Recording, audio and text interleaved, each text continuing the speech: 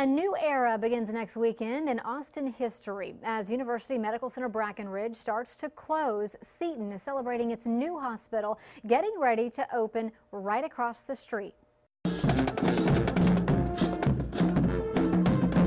That is Reagan High School's band taking part in today's celebration, which included a parade along 15th Street, which sits between the two hospitals.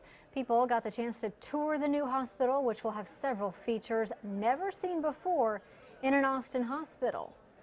We really looked at the efficiency. One of our missions is the education and training of the next generation. So we have learning spaces in the hospital so the caregivers can come together and train the next generation.